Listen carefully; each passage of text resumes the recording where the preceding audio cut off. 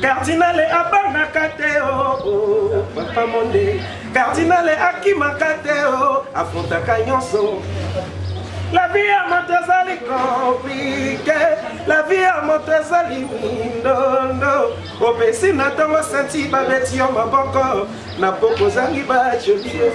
ya bowa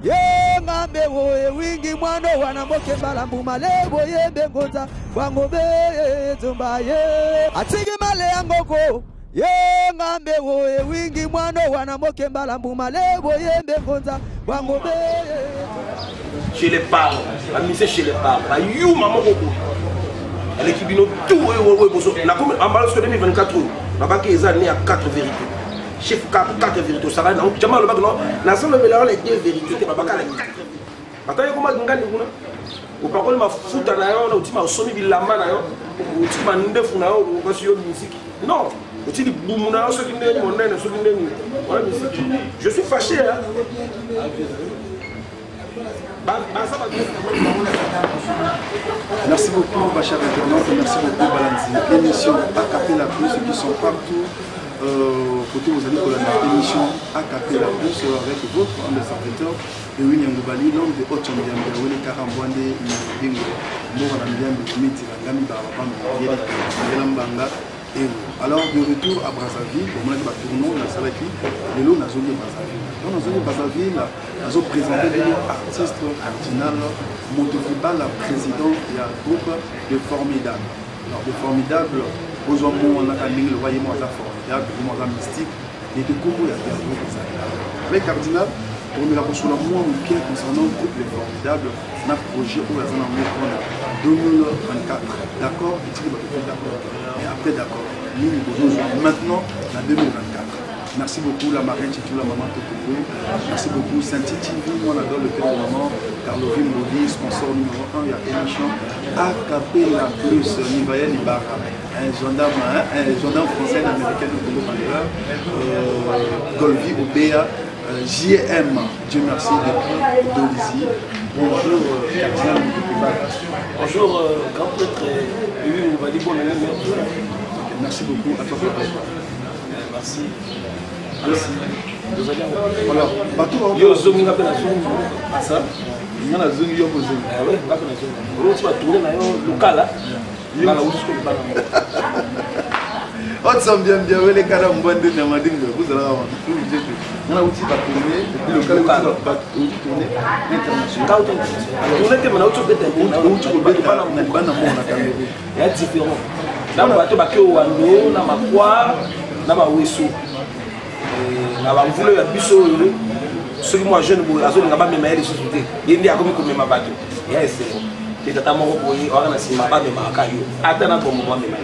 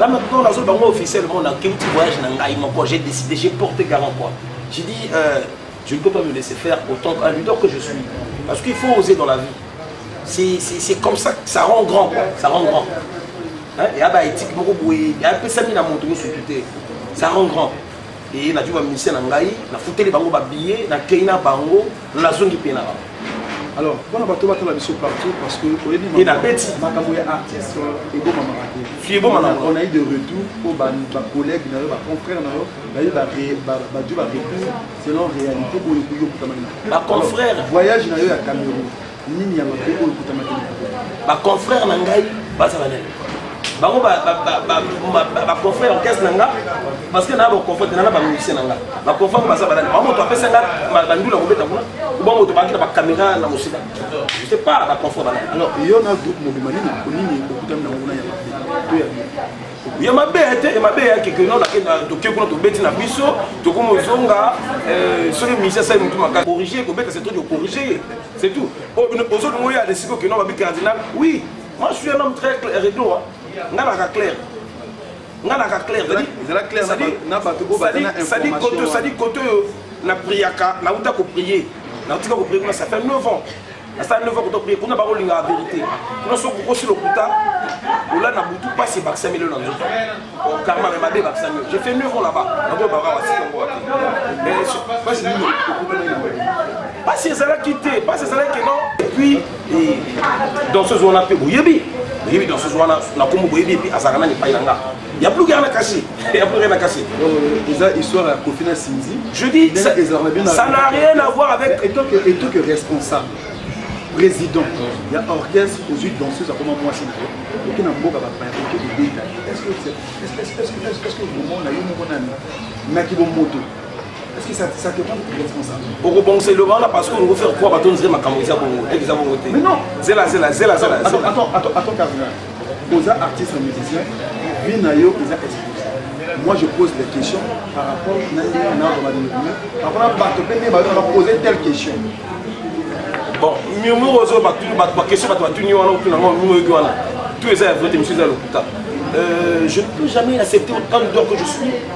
Euh, donc soki ozali voyage na ngai ngai aza kolala na hotel na troisième étage na troisième niveau euh, nakita na niveau ya na deuxième étage bien na mata na quatrième étage naluka yo oza te pendant deux jours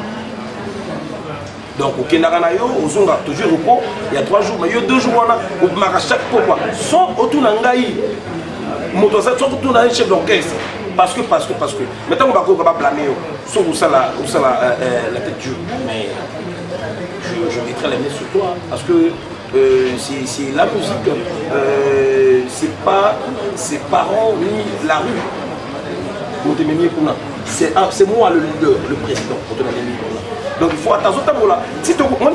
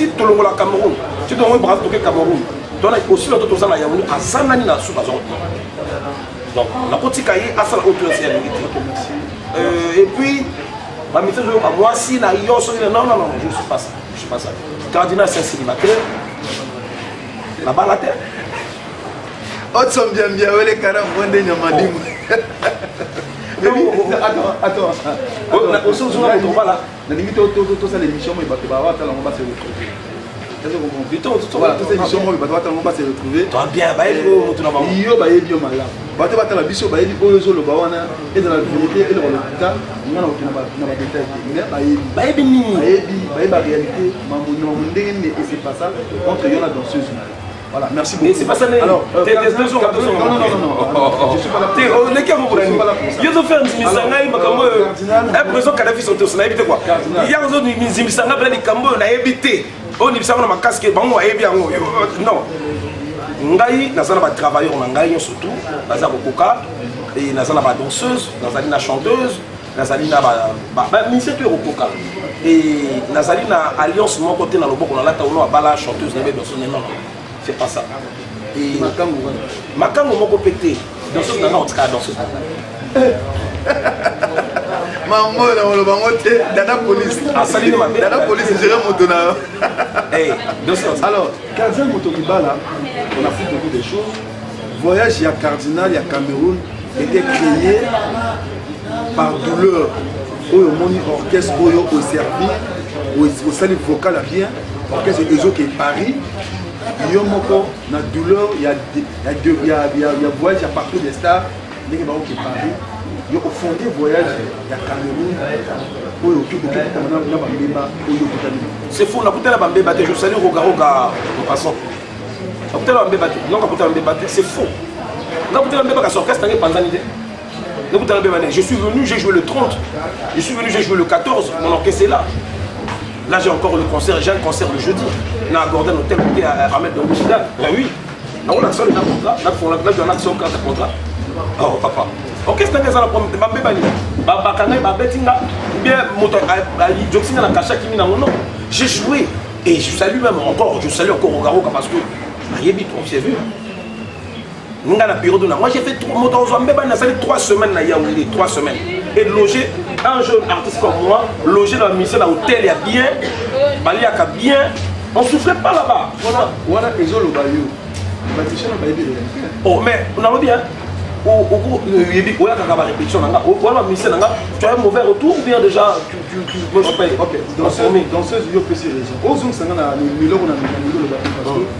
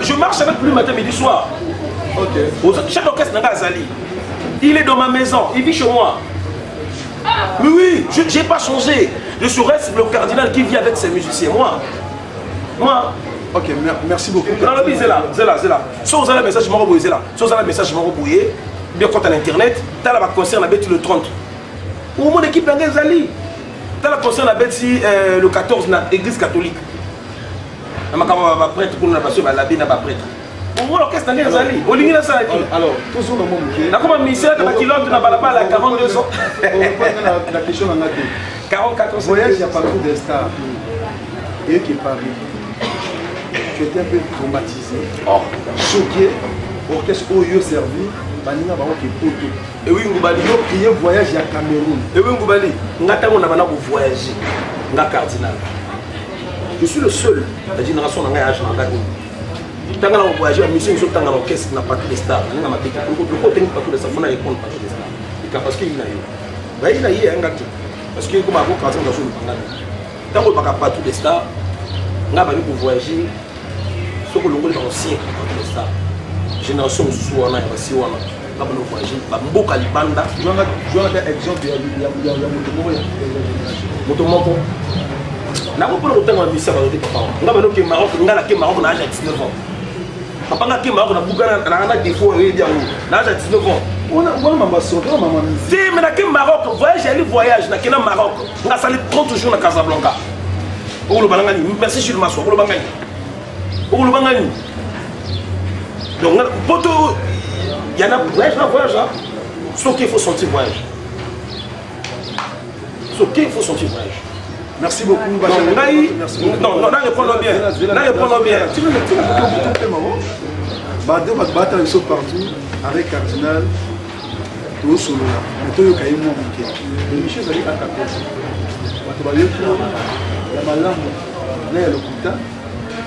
ya lokuta eza tebon nalobi sabisa bato nakosala kapela oyo moto makambo ezosimba bango bazoluka baignore moto makambo eza komata bango balingi bakitisa ye na lokuta songisongi na badumbe yango ya bomo kardinale abangaka te o oh, oh, oh, papa monde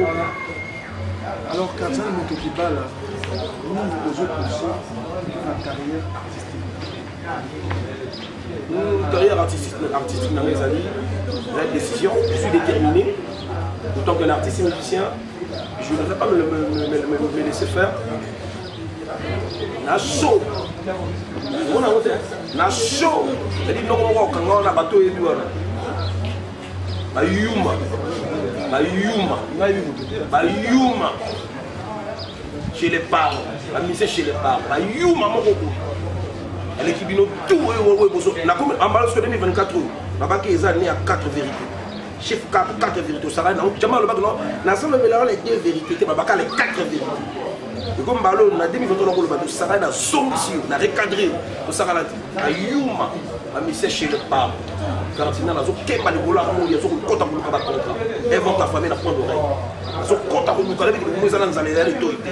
okoloba limonte vana kimia yango azokota nakobetaka nakobetaka koleka matebeli nabetaki na fere ozalaki yabi nabeti na fere gola ngai na fere gola moto mosusu te ngai na fere gola cetadi fere gola apeti epuis ngai abeti oleve le rido te fere gola apeti apo ngai na peti alobi yango ekoki natika mpe moninga abeta moninga monenga bozokomponeka nini te Ataki koma ngandi kuna opakoli mafuta na yo na otima osomi bilamba na yo oti mandefu na yo okasi yo miziki non oti libumu na yo soki ndenge monene soki ndenge wana miziki je suis fâché baza bavie na nga otia moto moko te tia bango nyonso tu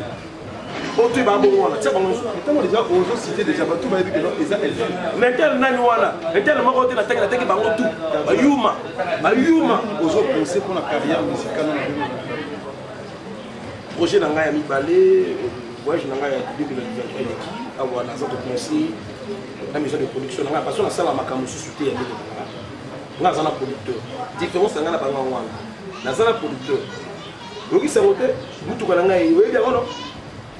nayoka sango ya motuka ya tonnerre d'animation de retour au pays nani didje ferenze motuka ya bleu félicitation na yo engende ekoti vol eki ezongi tonnerre d'animation ya yo nana zwi eh, nana zwi information yango yango esiaka depuis kala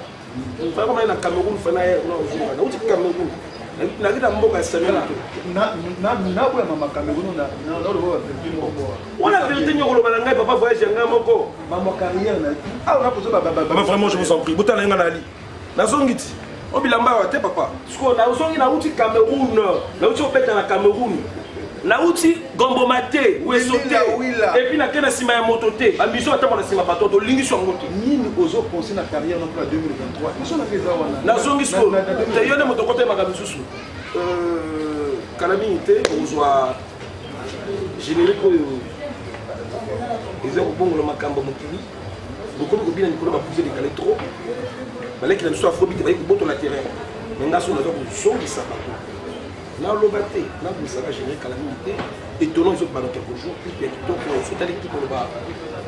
wana vraiment félicitation félicitation na clip étonnant na nzembo mpe te nakende na yoloba biso nani clip nakoma mikumisa sikoyo nga koma mikumisa parce que namoni kobongo botikaka to na nsima nga azoloba trop te fona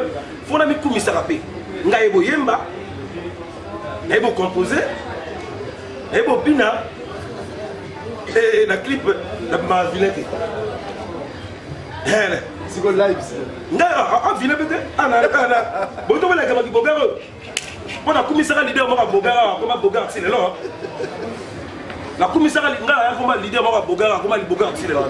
akoma bogar bogar bogar bogar tozonga makemba eza ambiance émission eza 2024 naboya nanga bapolémique aprobi na 2023 2023 meilleur impact je salue le dg adou danga de la snu oyo aleki aza te aza fin loba makongo loba na bilia bato ezopola mikolo na ndenge moko baoconstate ezo naza na yo te bilia ezopola mikolo na bakondition moko onseke baconjeter ya bato moto eza mabe voilà bacher internaute napesi bino mbote koto bozali bozwa na émission arlon moyo mwana poto moto moko be depuis mikili ya yo yango wana le président manco ibamba le cœur de maman god nabosami te chef atiku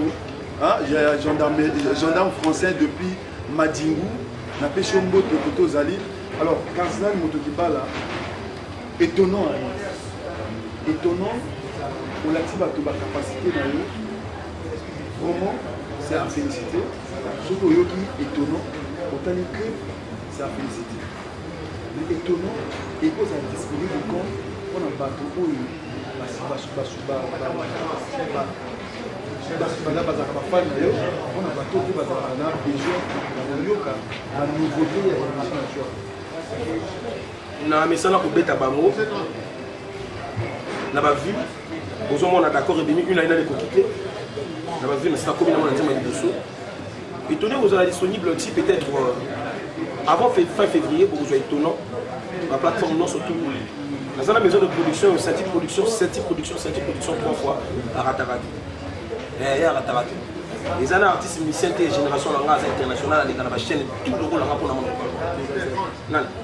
tanga komwa moto moko nga mpe na peso question tanga komwa moto moko euh, c'est gaka le traumatisé le nouveau maître de la rumba nani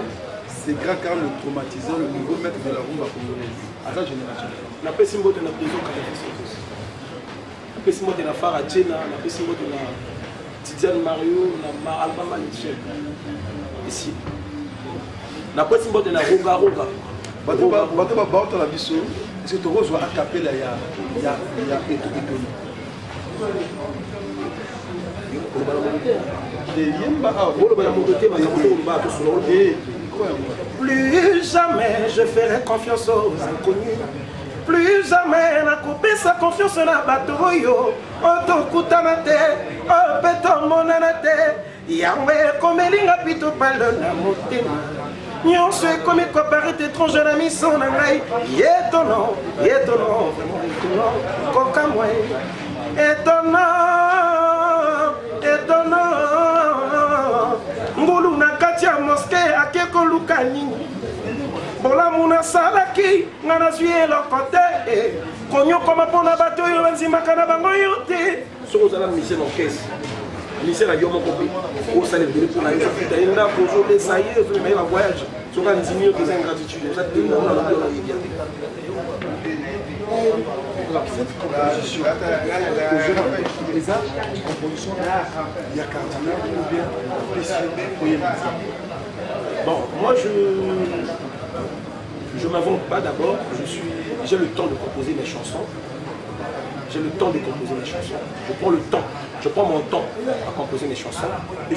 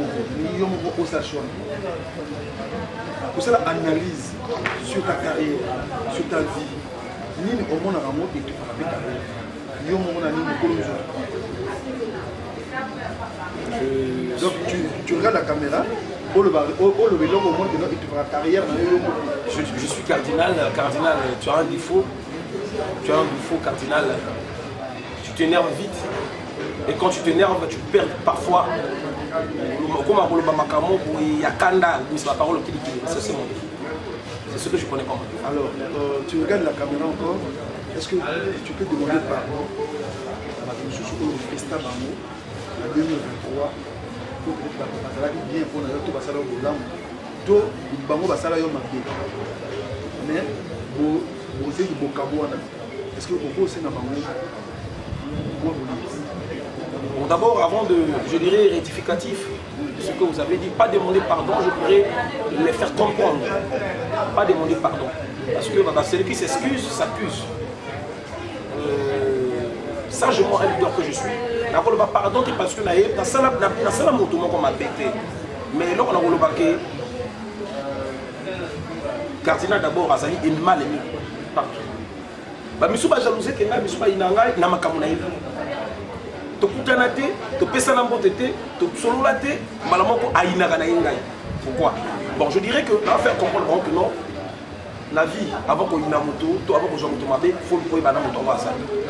karatino boyebi ozokenda na question est simple nasenga bango pardon kaka no ou bien osexcuse te na makambo mibale wana pardon na soki ezalaki eloko je peux merci tout à l'heure na posa question otala yo moko osala analyse sur yo olobi kena kosilikaka mango soki osiliki obebisaka baparole mabe na parole mabe na mpe kokoloba moto mpe mabe bobe seke bokabuani mpe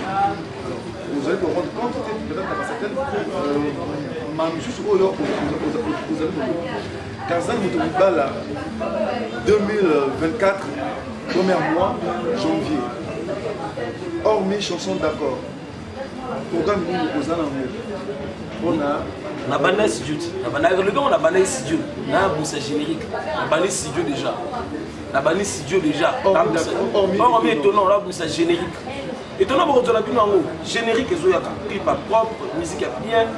deux animateurs babwaki ba deux animateurs ya bokoimagine bango bokoluka bango bokozwa bango merci beaucoup mais na euh, poser question ya ya comment s'appelle euh, mon ami depuis euh, gabon alors na poser question est ce que depuis que cardinal abandi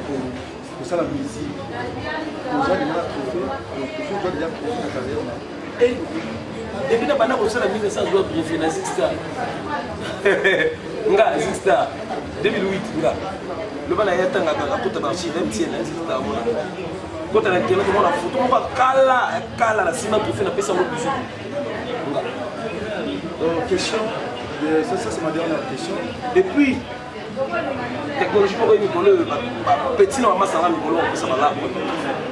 mais papa lutumba loba boye mingi atobinango na sina ndeki na génération na yo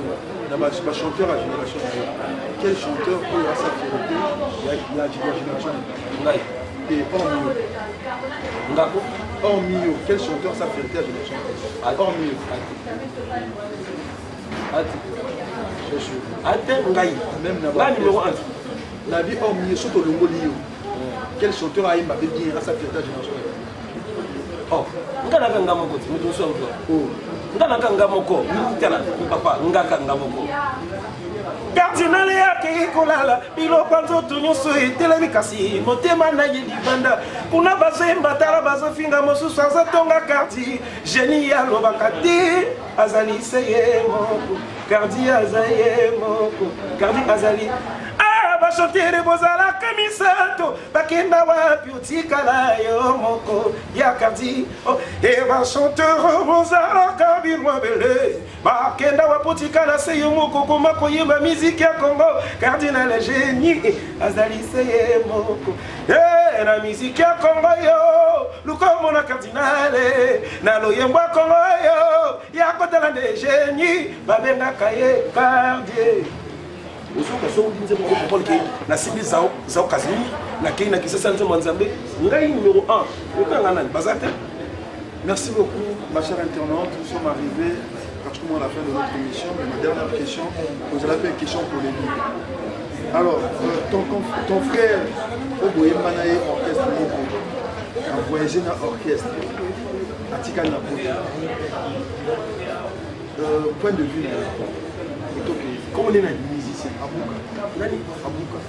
Ah, akomi na poto soki musicien oyo boyembani orchestre akokoma na poto oza na réseau socialnga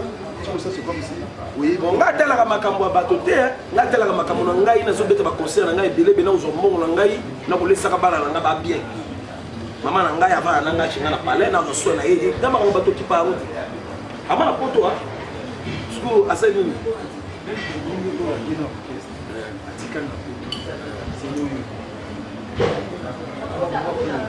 mais yaka lokumu mpe ya musique ya congo soki soki amisi ya congo brazaville soki version rouge ape lolendo na ye bayabi lokumu mpe ya mboka ake lipa na mboka napesa mpe le merci na prison amemi ye prison na biso kevin mwana emenga asali bien apesi ye vie soki sika mais lolendo mpe ya mboka na bango oh, non toyebaka tozobeta miziki na mboka oyo ezali bamisie mosusu aza leader meme na congo ntotali ya meme tchadie hmm. oui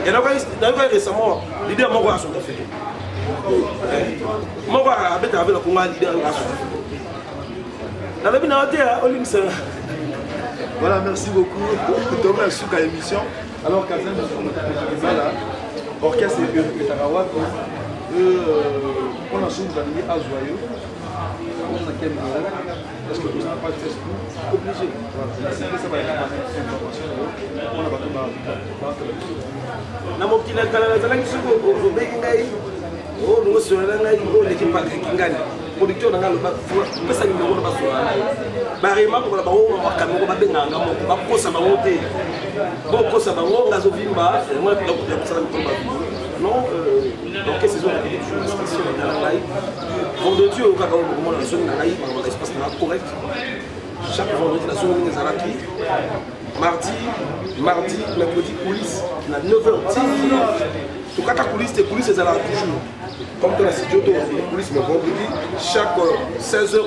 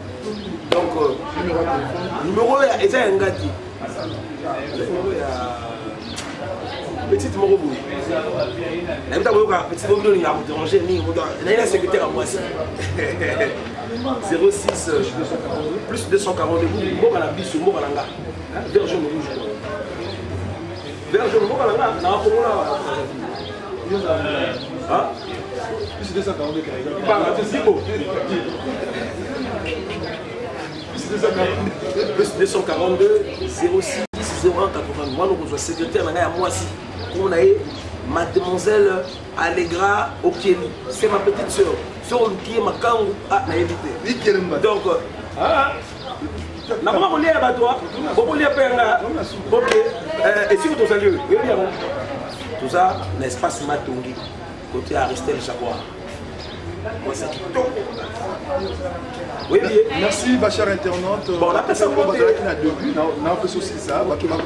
banda kolanda biso na début na suka ya émission napesi bino mbote parmi kote bozali déjà lobi na kovoyage nazopesa message na bana weso message na bana makwa euh, déjà vendredi euh, mercredi nakozala na makwa parti surtout oyo baza na mabwa weso bosorganize déjà nauti euh, na bwenza maintenant na mokende mpe zone nord mpona kosala baémission présente mpe baartiste oyo baza ondiendo eza 2024 le président de la république alobi année ya la jeunesse donc nga chroniqueur de la jeunesse naosala mosala na nga senti tv producteur de la jeunesse